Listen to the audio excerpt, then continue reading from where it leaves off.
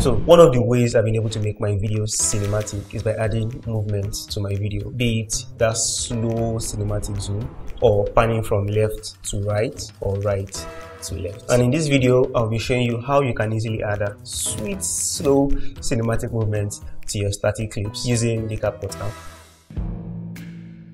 Alright, so in your CapCut app, under the effects section, select video effect, then scroll till you find lens. Under lens, select the zoom lens effect. So the two settings you have here are speed and range.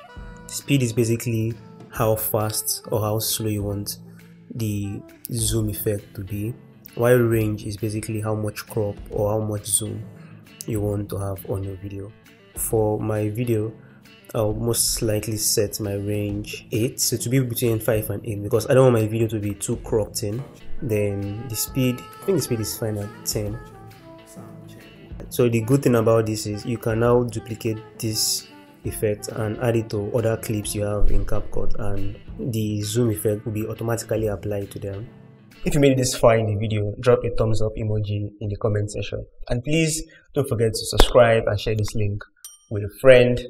And until next time, guys, be safe.